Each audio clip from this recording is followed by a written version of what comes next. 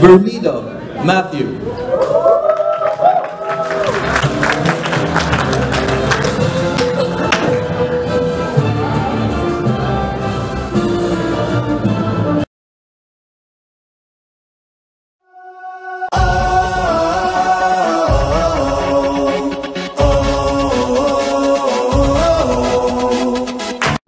Anong mga bibilin mo, Rayleigh?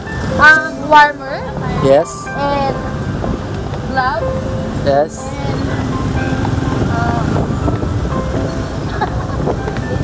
I don't know. Oh my God, wait lang, kailangan ko i-picture. Parang bagong school ba? Para papasok sa school? Welcome to New Jersey. Ate pa, makita na po. Ito kami ngayon sa Decathlon.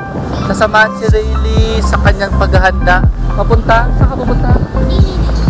Kennedy! Kennedy. Sanidad.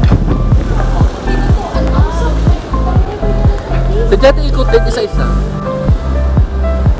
Dito kami sa Decathlon. Scuba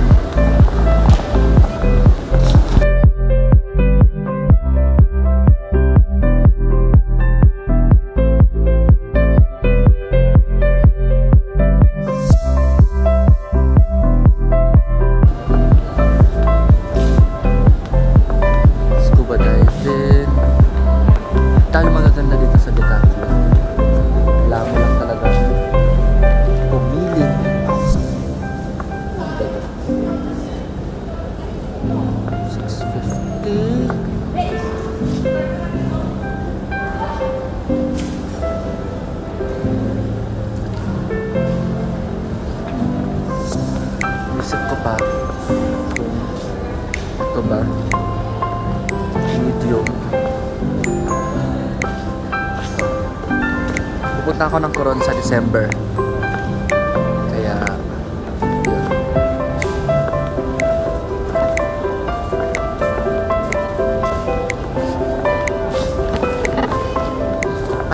Hindi. May goggles pala ako. May goggles ako. Ba't kailangan ko pang bumili? Na, eh, malis na pala ako. Kailangan ko lang ay yung snorkel.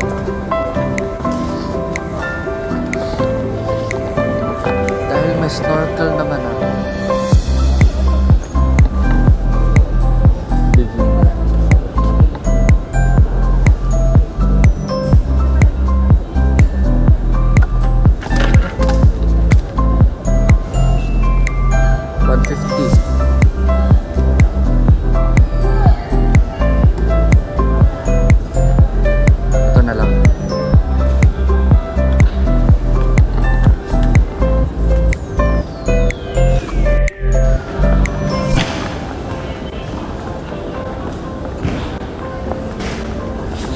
Pang badminton, nakita niyo na?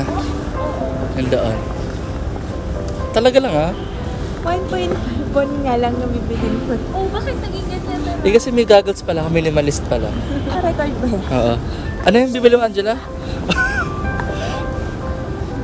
Pangtamad nga yung Oo.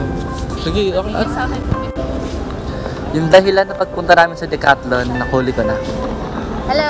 Ano mga nabili mo, Rayleigh? Shoes. Warmer. Warmers. Gloves. Fleece. May fleece ka ba? Ano yun? Yung medyo mas makapal siya. Ah, sa ano, meron meron. Ang loob. Na turtleneck. Oo, meron. Pero meron din dito. Ah, meron din. Saan? Sa kilid lang.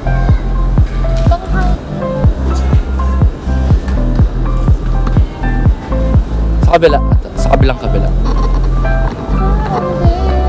Ano feeling, Rayleigh, na nakagraduate ka? Masaya. 10 months. May, grabe yung grace ni God.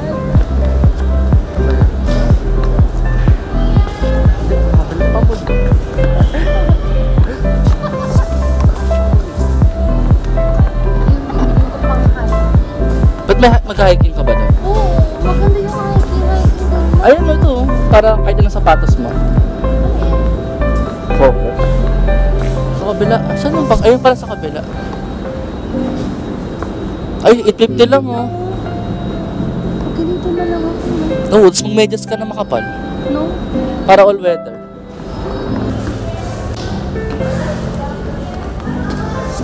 So guys, ako muna si Mari. So right now, andito kami sa Decathlon. It's all